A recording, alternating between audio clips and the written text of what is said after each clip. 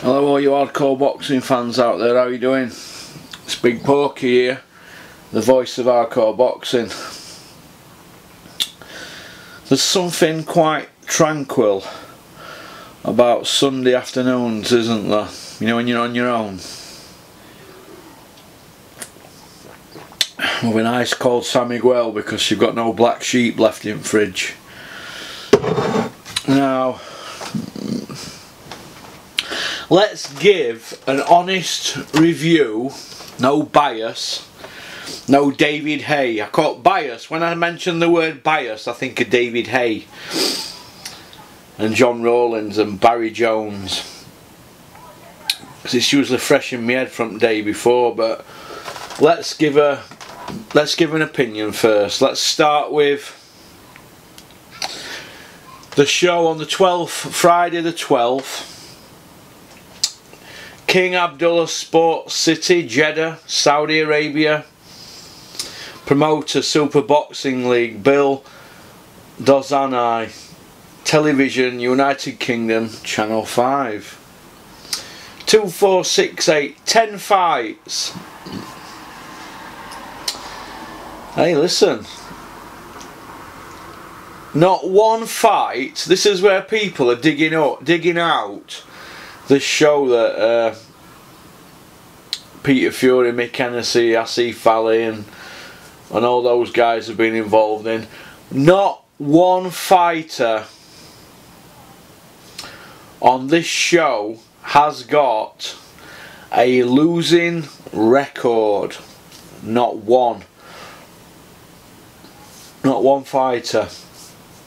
Some of the names are going to be very hard to pronounce, like welterweight Rodrigo Carabola 5 and 0 he beat Sajid Abid 8 and 0 then you've got lightweight R Rakesh Lohchab 6 and 0 on a draw.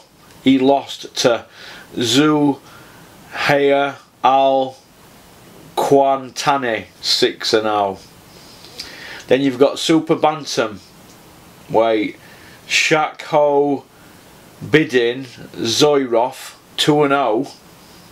He beat Sandeep Singh Bhatti 1 and 1 and 0. Then you've got middleweight Michael Hennessy Jr. 1 and 0. He drew with Farhad Haz Rat Zada who were on his debut. So that were unlucky for Michael Hennessy Jr. I've met Michael Hennessy Jr. I like him so I were gutted for him. And then you've got heavyweight Hemi Ahio 14 and 0. He beat Ali Kai Wydin 8 and 0. Then you've got middleweight Abdul Fattah Juladana Juladan 3 and 1 he lost to Kyle Lomate 6 and 0 but like I said as I'm working my way through these not one of them's got a losing record. And I think that deserves respect right then you've got bantamweight there's only one bantamweight in there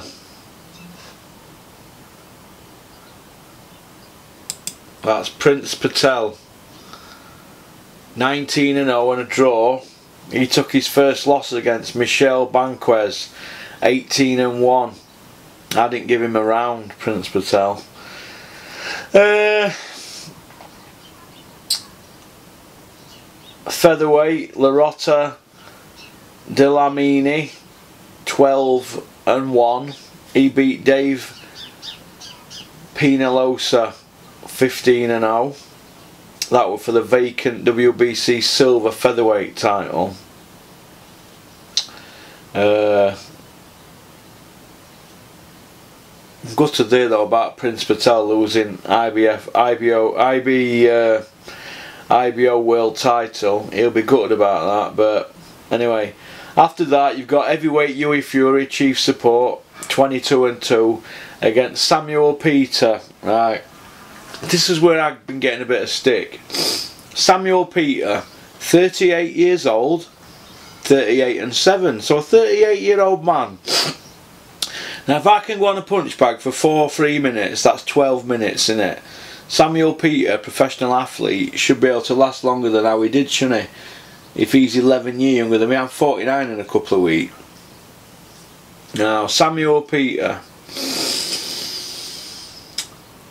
he didn't come, he, came to survive and, and, and he stunk the place out, spoiling and fouling and you expect a bit more from somebody that's won a WBC heavyweight world title and you know he's beat four world champions along the way. He's got two wins. Sorry, he's got four wins over world champions. I mean he's got two wins over Hall of Famer James Toney. You know, and and he's performing like that, and it just made Hughie look bad. It made Show look bad, if you ask me. Uh, just my opinion. And I felt for Hughie and his dad, right, because they're, and Mick because they were on a loser to nothing, really, weren't they? They're on a loser to nothing. You know what I mean? But the good thing is, Hughie gets a win, he gets out there, he gets to fight in a different time zone. There's the positives, but Samuel Peter, he didn't perform, did he, like he said he were gonna. And, and I think when you've got when you're in a situation like that where he's clearly feigning an injury, he didn't hurt his arm. I don't think. I think they have to start stopping the purses, me. I think they do. A bit like Audley Harrison, they stopped his against David Haye, didn't they? But then they give him it. Because Eddie Hearn was screaming blue murder. But, you know, it's... Uh, they're on they're on a loser to nothing. But the actual show, two, four, six, eight, ten, ten fights. That's twenty fighters. Not one of them twenty fighters. Am I out of range here? This. Let's have a look.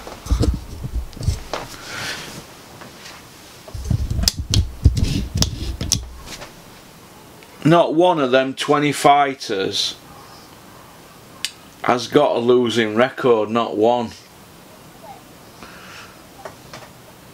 Not one. Then you've got Amir Khan.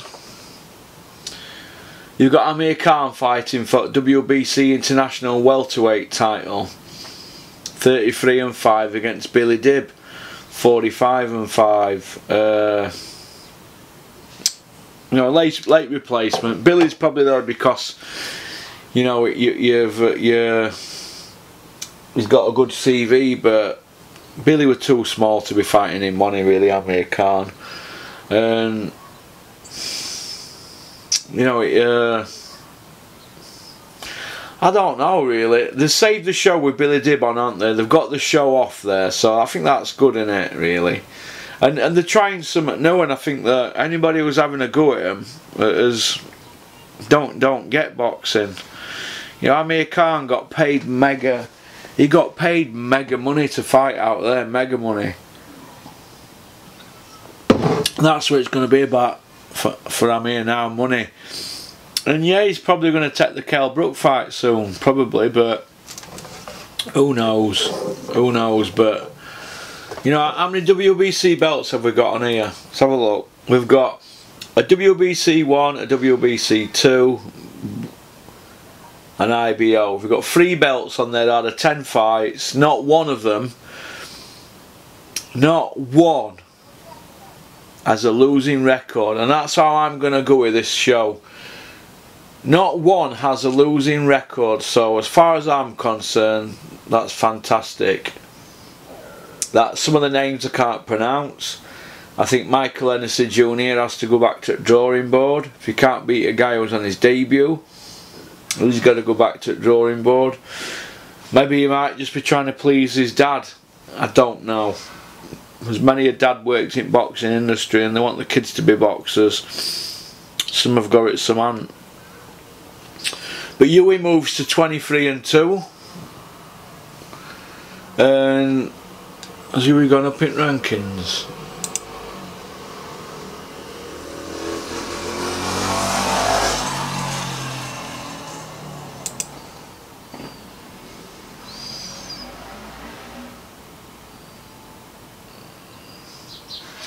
Hughie's gone down one in rankings. He's swapped places with Joe Joyce.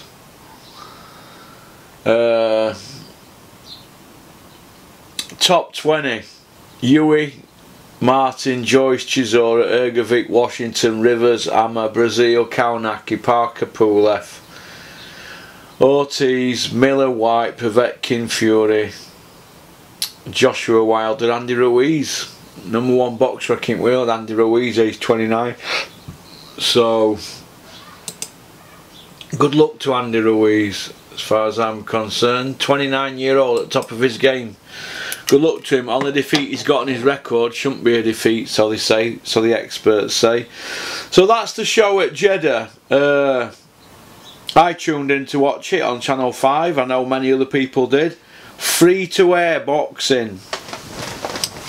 As far as I'm concerned, I'll just get this set up. As far as I'm concerned, right, if it's free to air boxing, right, free to air is good. It's like getting free beer, isn't it? It's free to air boxing. You're not paying a subscription channel. All them people that have got TV license as well. I've got friends who work for a TV license company and you don't have to have a TV license if you don't want to, you know.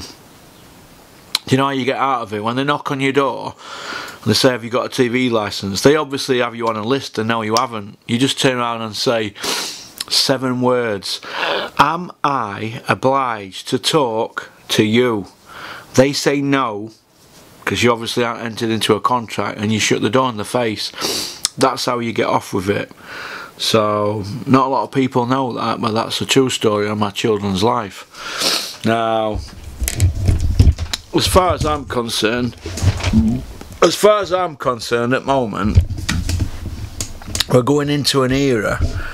We're going into an era where people are not wanting to fight each other, are they? People are not fighting each other. Who is taking the fights in what division? Is Billy Joe fighting Canelo? Is Billy Joe fighting Canelo or Triple G? No. Is Billy Joe fighting Callum Smith or Benavidez? No. Is Tyson Fury fighting Wilder? No. Is he fighting Joshua? No. There's a fight out there for Tyson Fury though if uh, Dillian Whyte beats Rivers. That's Dillian Whyte. Tyson Fury. Will that happen? No. Tyson didn't want that work, does he? But we'll get onto that in next video. Fighters are not fighting the fights that they should fight. So it is what it is, isn't it? But I'm just going to point it out and I'm just going to keep moving forward my channel. Keep your questions coming in keep your comments, I read them. I don't reply to the comments, but I reply to your emails. Uh, and obviously I do put tweets out. But keep your questions coming in. Because the questions are, are really important. Aren't they, Rocky? Rocky, say hello. Rock, say hello. Say hello. Don't want to don't want to speak, don't want to say out. Hey, come on, come on, come on, come on. What's the matter? Hey, you're a good boy. But uh, but yeah, so I thought on the whole, Samuel Peters spoilt the show, and I thought Amir Khan were way too big for Billy Dib, but they had a go at putting the show on, so you got to give him respect. It was free to air TV. You got to see Amir Khan, you got to see Hughie, you got to see Billy Dib, Prince Patel, and you didn't get to see one fighter out of the 20 on show that had a losing record. And that for me, that for me means it's a good show. Good matched up fights. I mean, if you look at the fights, not everybody won, did they? Hang on a minute. Let me just get this camera sorted here. Two seconds. Right, two seconds. Let me just. Let me get this on here. Have a look. Right, for example, Hughie Fury. Hughie won. Oops. Right, look at that there now. Look at that. One, two, three, four, five, six. Six and three and a draw, that show. Six and three and a draw. Right. Six wins, three losses, one draw. Now that to me, that's good evenly matched fights. Not one of them had a losing record, like I've just pointed out to you. Our other shows going to follow suit. Now, watch my next video and you see what I say about the next one. Okay? So, peace out. Keep on trucking. Keep supporting boxing.